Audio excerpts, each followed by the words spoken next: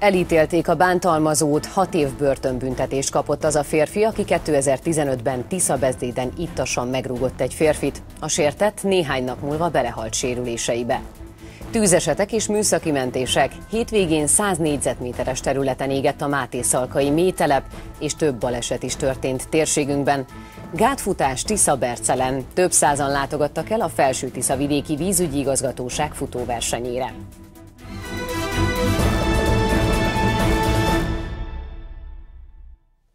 Elítélték a Tisza-Bezdédi ittas bántalmazót. A Kölcsei Televízió híradóját látják? Köszöntöm Önöket!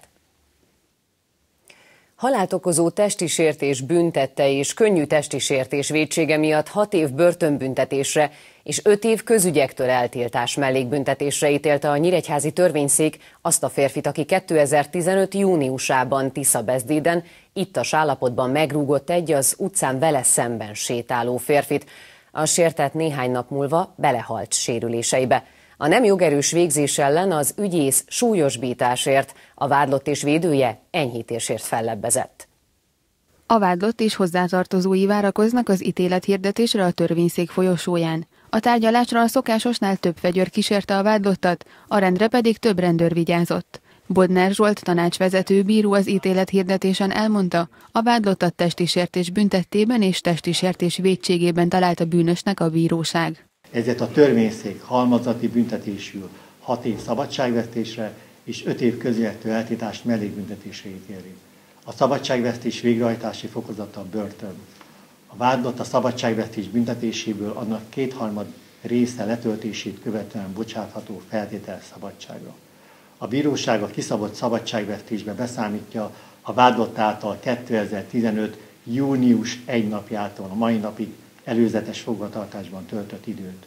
Kötelezze a bíróság a vádlottat, hogy fizesse meg az eddig felmerült 437.172 forint bűnyi költséget az államnak, a tényállás szerint 2015. június 1-én az akkor 22 éves vádlott ittas állapotban sétált Tisza Bezdéd egyik utcájában, amikor egy vele szemben gyalogló középkorú férfit minden indoklás nélkül ellökött, majd a földön fekvő sértettet egyszer fejbe rúgta. A koponya sérülés szenvedett férfi még fel tudott állni és segítséget kért. Kórházba vitték, de ott június 10-én életét vesztette. Az agresszívan viselkedő vádott aznap egy másik férfit is ugyanúgy megtámadott, de ő kisebb sérülésekkel megúszta a találkozást. Bodnár Zsolt bíró az ítélet indoklásában elmondta, a vádlott a testi sértés szándékával bántalmazta a férfit, életét ugyan nem akarta kioltani, de magára hagyta áldozatát, gondatlansága és a segítségnyújtás elmulasztása hozzájárult a sértett későbbi halálához. Az áldozat családja nem fogadta el az ítéletet. Vésnek találom ezt a, az egész kiszabott büntetést. Ez nevetséges. Nem tudok mást mondani. Ennyi. Az ítélet ellen a vádlott és védője enyhítésért, az ügyész súlyosbításért jelentett be fellebbezést. A per a debreceni ítélőtáblán folytatódik. Felháborítónak nevezte a Tisza-Bezdédi büntetőügyben meghozott bírósági ítéletet Adorján Béla, a Jobbik országgyűlési képviselője. A tárgyalás után a törvényszék előtt megtartott sajtótájékoztatóján azt mondta, elfogadható az ügyészségi fellebbezés, az áldozat családja pedig új eljárás indítását fogja kérelmezni. A politikus hozzátette, a család álláspontja szerint a bűncselekményt nem egy ember a vádlott, hanem többen követték el. Ennek bebizonyítására pedig minden lehetséges jogi eszközt felhasználnak majd a hozzátartozók. Felháborít és mélységesen megráz a mai ítélethirdetés. Nem pusztán a lefolytatott vizsgálat, hanem maga az ítélet tétele is. Hat év letöltendő szabadságvesztéssel sújtotta a bíróság, ha ezt lehet sújtani vagy sújtásnak nevezni az elkövetőt, és itt fontos az is, hogy az elkövetőt és nem az elkövetőket. Én azt gondolom, hogy ma Magyarország azért tart itt, ahol tart, azért követnek el nap mint nap ilyen típusú bűncselekményeket, mert a büntető törvénykönyv nem megfelelően szankcionálja ezeket a, büntető, ezeket a cselekményeket. Mi azt fogjuk kezdeményezni, és elkezdtük már ennek a kidolgozását, hogy a büntető törvénykönyv megfelelő mértékben módosuljon, és megfelelő mértékben szankcionálja az ilyen típusú bűncselekményeket. Országjáró programsorozata részeként szerdán délután Nyíregyházán is utcafórumot tart Botka László, az MSZP miniszterelnök jelöltje, és Molnár Gyula, a pártelnöke. hangzott el a szocialisták mai sajtótájékoztatóján. Veres János megyei elnök emellett felhívta a figyelmet a holnapi megyei közgyűlésre is, amelyen várhatóan a megyei topos források szétosztásának uniós elveiről is szó esik majd. Kedden Nyíregyházán egy olyan megyei közülésre kerül sor, ahol bizonyosan sor fog kerülni annak vitatására, hogy az elmúlt héten egy zárt ülésen a megyei közgyűlés a területi operatív program forrásairól eléggé sajátos döntést hozott. Az minimum ki lehet jelenteni, hogy nincs teljesen összhangban ez a döntés az Európai Unió elveivel. Ebből következően aztán sok vitát fog ez kiváltani, úgy gondolom és ennél a vitára szerintem holnap már sor fog kerülni a megyei közgyűlésen, hogy nem fog lezárulni, az is majdnem borítékolható, de legalább a vita fő elvei, fő irányai, azok ki fognak alakulni a holnapi megyei közgyűlésen, annak érdekében, hogy nyilvános, transzparens, átlátható döntéshozatal szülessen, ne pedig olyan, mint az elmúlt héten volt. Tűzesetek és műszaki mentések is adtak feladatot a tűzoltóknak hétvégén Máté Szalkán a mételepen, 100 négyzetméteres területen papír, fatörmelék és több személygépkocsi is kigyulladt. A péntek délutáni esetben személyi sérülés nem történt. Csak hétvégén 13 segélyhívás érkezett a megyei katasztrófavédelemhez. Volt, ahol telefonoszlop borult az úttestre, de több közúti balesetnél is mentettek a szakemberek. Ma délelőtt is volt egy jelentős baleset. Egy személygépkocsi lesodródott az úttestről Nyírjestanya külterületén. A mélyárokban oldalára borult az autó, a sofőr karcolásokkal megúszta a balesetet, a gépkocsi azonban totálkárosra tört. Idén is több százan látogattak el a Felső Tisza vidéki vízügyi igazgatóság futóversenyére a hétvégén Tisza Bercerre. Már harmadik alkalommal várta a sportbarát kicsiket és nagyokat a Tisza töltésére az igazgatóság, hogy együtt mozogjanak és megismertessék az érdeklődőkkel a vízügyi dolgozók munkáját. Három, kettő, egy. A verseny az 500 méteres gyerekfutammal indult, a szeles időjárás ellenére sokan kilátogattak a gátra, hogy bizonyítsanak. A felnőttek 3,2, 7,2 és 10 kilométeres távon is összemérhették tudásukat. A futók itt nem csak a célra koncentrálhattak, hanem gyönyörködhettek is a festői szépségű tájban. Én a 3,2 kilométeres távon indulok, ez a rövid táv a felnőttek kategóriájában. És igazából azért, mert mivel ugye a természetet is szeretem, illetve a sportot, mozgást is, és mint igazgatósági dolgozó nem is volt kérdés, hogy elindulok, mert tavaly is részt vettem, tavaly előtt, mint szervező, úgyhogy idén sem volt kérdés számomra ez, hogy elinduljak. A rendezvény iránt minden évben nagy az érdeklődés, már előzetesen is több mint százan neveztek a különböző versenyszámokra, amelyel több célja is van az igazgatóságnak. Ezzel az a célunk, hogy a vízügyi ágazatban dolgozó kollégáink előtt tisztelegjünk, e, és tulajdonképpen a civil társadalom részére megismertessük az itt folyó munkát, egyrészt, e, másrészt pedig a e, vízügyi létesítményekbe betekintést nyerhessenek a résztvevők, harmadrészt pedig egy egészséges mozgás alakuljon ki, egy olyan tevékenységet végezhessenek, egy olyan szabadidős tevékenységet a résztvevők, amelyek talán az egészségükre válik. Az országos kezdeményezésnek ma már számos támogatója van, többek között a Magyar Hidrológiai Társaság és a Magyar Vöröskereszt megyei szervezete, a Kölcsei Televízió, valamint egy sportszereket forgalmazó áruház. Nagyon-nagyon fontos, hogy idén már másodjára vagyunk ezen a rendezvényen jelen. Az első és a legfontosabb, ami miatt szerettük volna támogatni idén is a rendezvényt, az nem más, mint a sport. Szeretnénk a sportást elérhetővé tenni a lehető legtöbb ember számára. Igaz ez a felnőttekre és a gyerekekre is. Kiemelten figyelünk a gyerekekre, nagyon szeretnénk, hogy minél többen megismerhessék, hogy milyen is elkezdeni mozogni, milyen is maga a futásnak az öröme. És hát a másik pedig maga a környezetvédelem. Szeretnénk hangsúlyt fektetni arra, hogy a lehető legszélesebb körbe ennek a fontosságát is megismertethessük, és be tudjunk állni egy ilyen rendezvény mellé. A verseny ideje alatt az érdeklődők előtt megnyitották a megye legrégebbi gőzüzemű szivattyú telepét is, amely 1970-ben üzemelt utoljára. Az Egyasszony című monodrámát láthatta a közönség a Móri Zsigmond Színház Krúdi Kamara színpadán pénteken. A darabot, melynek rendezője Pacolai Béla, Tenki Réka, az Örkény Színház művésze adta elő.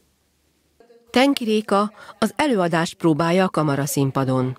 A darab, amelyet 2015-ben mutattak be, Péter Finovák Éva nagy sikerű, megrázó őszintességű blogjának és könyvének szövegeiből készült, amelyben megörökíti kislánya történetét, aki a születés során súlyosan mentálisan sérülté vált, majd 7 év után meghalt. A szerző 30 évvel az események történte után számolt be mindarról, amin fiatal anyaként keresztül kellett mennie. Az egyasszony olyan igaz történet az élet fájdalmas titkairól, amelyekről nem szokás beszélni. Tragikus és egyben felemelő példázat, melynek különlegessége, hogy tragikuma ellenére életöröm sugárzik belőle. A színésznő szerint a monodráma üzenete az, hogy a legszörnyűbb helyzetből is van kiút. Azt gondolom, hogy azok a történetek, amik erőt adnak, és ö, talán egy, ö, egy kulcsot adhatnak ahhoz, hogy elindítsuk az új életünket, vagy egy változásnak a kezdetét jelentheti, akkor azok nagyon fontos történetek és fontos előadások. És az Évának a, a könyve, az élete és az ő ö, tragédiája és az útja, amin átment, az szerintem nagyon sok mindenkinek segítséget, vagy esetleg ö, hasonló helyzetek feldolgozásában segíthet. Tenkiréka gyermeke születése után ezzel a darabbal tért vissza a színpadra. Ebben a különleges élethelyzetben kapta a felkérést a produkcióra, ami az első találkozása volt a műfajjal nehéz dolog egy hónapon keresztül csak szöveget tanulni, és utána egyedül megküzdeni azzal, hogy vajon érdekes lehetek-e, vagy én át tudom-e adni ezt a történetet az embereknek úgy, hogy ne álljanak föl 20 perc után. Szóval ez persze ez mindegy olyan nyomasztó helyzet, amivel meg kell küzdeni, de aztán fontosabb lesz maga az ügy. Tenki Réka az Egyasszony című monodrámában nyújtott alakításáért 2016-ban a színikritikusok díját kapta meg.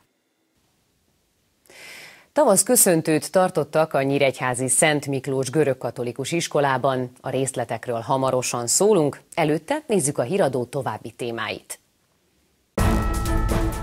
Hatodik tavaszi hazai meccsét is megnyerte a kisvárdai futballcsapat. Az MB2 31. fordulójában lejátszott mérkőzésen Rivész Attila együttese 3-0-ra verte a Zalaegerszeget és továbbra is a feljutást jelentő második helyen áll a tabellán.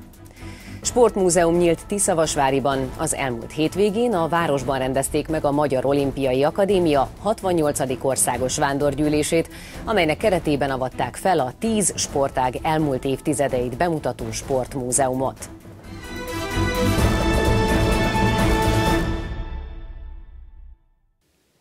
Az egészség testnek és léleknek a harmóniája, mindkettőre vigyázni kell. Ez volt a motója a Nyíregyházi Szent Miklós görögkatolikus iskola tavaszköszöntő rendezvényének.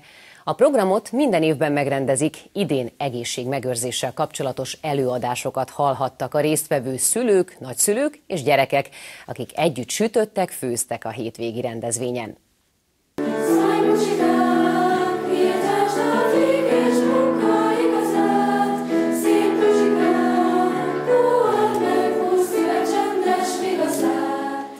Az iskola énekkara nyitotta meg a tavaszköszöntő ünnepséget a görög katolikus iskolában. A tavaszköszöntőt 14. alkalommal tartották meg helyi civil szervezetekkel együtt. Az iskola nyitott az ilyen kezdeményezésre.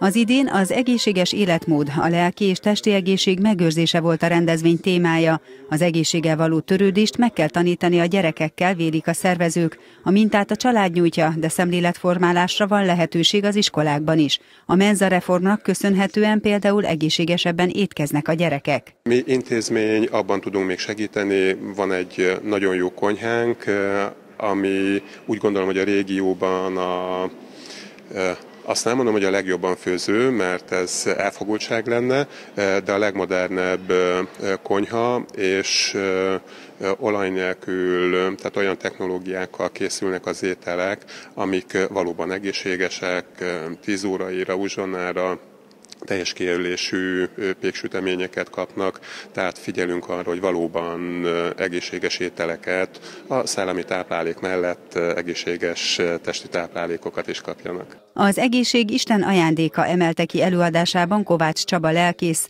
aki elmondta, ma már a tudomány is alátámasztja, hogy az egészségünk megtartásáért a lelkünk is felelős. A mai rohanó társadalomban jellemző a stressz, a kevés pihenés, szükség van a lélekkel való törődésre.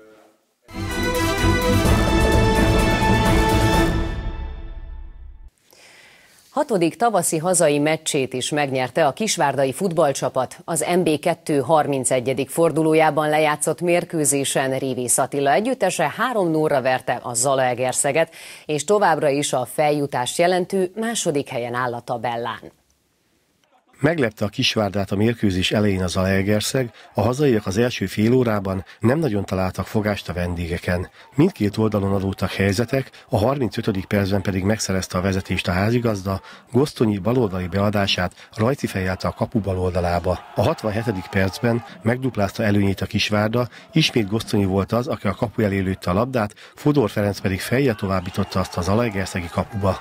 A 87. percben Horváth Adrián indult meg az ellenfél kapuja felé, és a Horváth Zoltántól visszakapott labdával a kapus is kicserezve szerezte meg csapat a harmadik gólját, magabiztossá téve a Kisvárda győzelmét. Ez a mérkőzés teljesen sima volt, én azt gondolom. Annak ellenére, hogy a mérkőzés eleje nem úgy ö, alakult, ahogy szerettük volna, nagyon defenzívre álltak föl a, a, az majd 20 perc után én úgy érzem, átvettük a ritmust, megtaláltuk az ellenszerüket, kicsit szerkezetbe is alakultunk, és a gól után teljesen a miénk volt, úgy érzem. Szünet után már azt a rendszert játszottuk, amit kellett, megkívánt az ellenfél, és hát olyan fölényt alakítottunk ki, amelynek, amelyben időkérdése volt, hogy mikor szerezzük meg a második megnyugtató gólt, majd jött a harmadik is, és úgy érzem, hogy ez egy, ez egy olyan siker volt, amire a következő hétfordulóra lehet alapozni. A vendégek edzője szerint a rutin és a két csapat játék ereje közötti különbség döntött el a találkozót a hazaiak javára.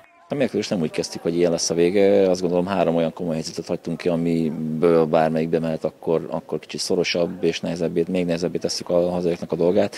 Sajnos mi kihagyjuk ezeket. Az ellenfél az első beadás után a rajci, mikor üresen marad befejeli ez a különbség talán a támadók között, meg a helyzéseink között, hogy a Kisvárda csatári az elsőt berúgják, nekünk pedig sok-sok helyzet kell minden mérkőzésen ahhoz, hogy, hogy gólt rúgjunk. A harmadik találatot szerző Horváth Adrián annak is örült, hogy góljának köszönhetően a csapat szakmai igazgatójával szemben megnyert egy fogadást. Nem is tudom, már nagyon rég szereztem gólt, Hát hál' Istennek most összejött, különösen úgy nagy öröm, hogy volt egy fogadásom a mesterrel, és így sajnos azt elbukta.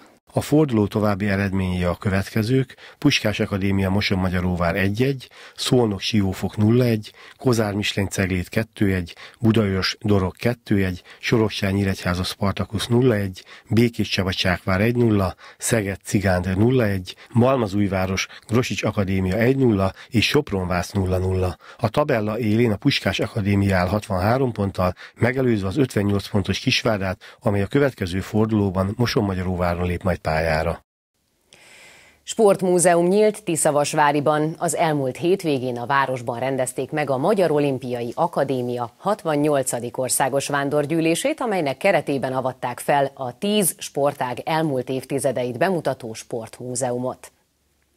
A Magyar Olimpiai Akadémia 1985-ben alakult azzal a céllal, hogy terjessze az olimpizmus eszméjét. A szervezet évente két-három alkalommal tart vándorgyűlést, amelyen korábbi és jelenlegi sportolók segítségével igyekeznek minél szélesebb körben népszerűsíteni a sportot és az ötkarikás játékokat. Az elmúlt hétvégén Ciszavasvári adott otthont a 68. vándorgyűlésnek. Azok a települések, amelyek befogadják és magukhoz vonzák ezt az akadémiát, azok a legtöbb esetben maguk is elkötelezettjei a sportnak, vagy ha kevésbé voltak elkötelezettjei, akkor elkötelezettjei válnak, és nem egy esetben megindít egy olyan gondolkodást az adott településen, amelyik úgy gondolom, hogy az egész magyar sportmozgalomnak, vagy a kárpát magyarságnak is meghatározó és fontos és lényeges.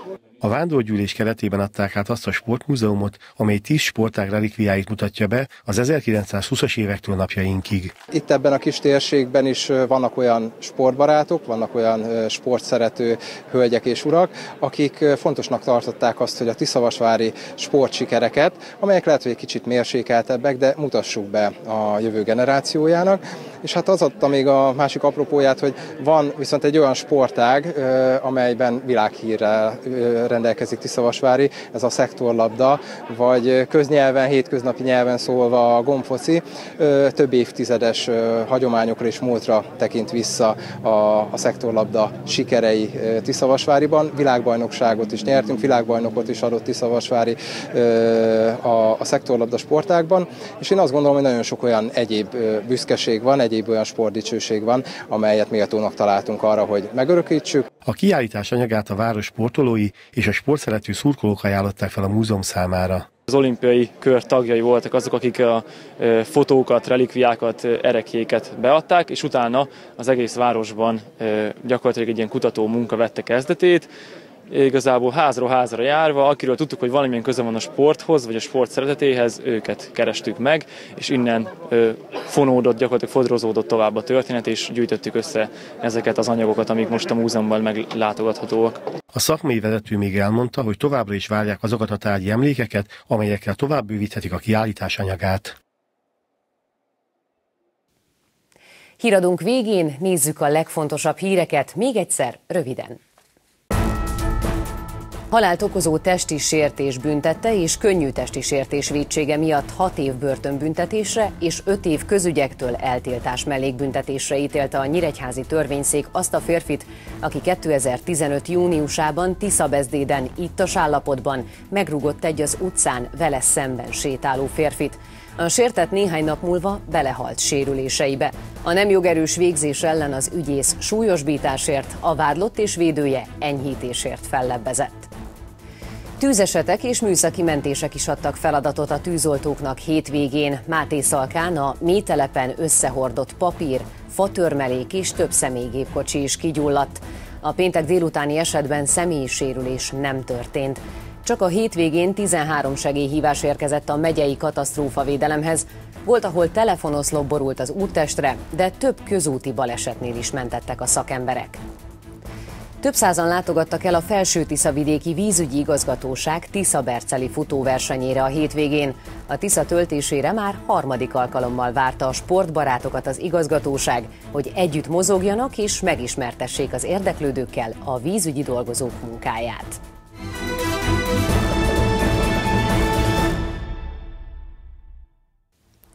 Önök a Kölcsei Televízió híradóját látták április 24-én hétfőn. Friss hírekkel holnap este várjuk majd Önöket. Tudósításainkat addig is elérhetik honlapunkon, és munkatársaim nevében is köszönöm figyelmüket. Viszontlátásra!